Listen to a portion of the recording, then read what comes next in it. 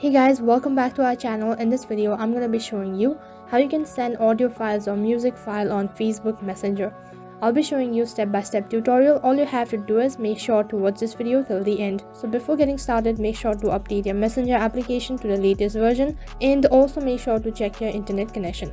So then open up your Messenger application. So after you open up your application, this is what the interface is going to look like.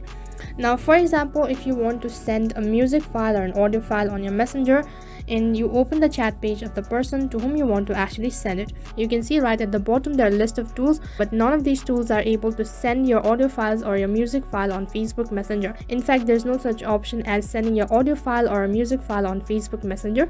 You can send a voicemail or a voice recorder, but then there's no such direct method to send an audio file or your music file on Facebook Messenger. So it does not mean that you'll not be able to send any audio file or music file on Messenger. Just head back to your home screen and then open up your file manager.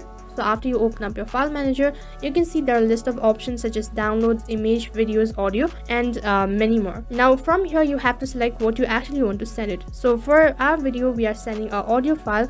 So then tap on audio. You can see there is a list of audios that is stored on your device. So in order to share it on your messenger what you need to do is just long press on the particular audio. After that you'll even be able to send multiple medias or multiple files after that you can see right on top there's a share icon just tap on it so from the drop down menu you have to select the application in which you want to send audio file or the music file so I'll go with the messenger. After that, once you're on the messenger or the chat page, you have to select the person or the contact to whom you want to share this particular music file. You can see that the file has been sent. So that is how you can send audio files or music file on Facebook Messenger. So that is all for this video. I hope the video was helpful. Make sure to like, share and subscribe to our channel. Thank you for watching.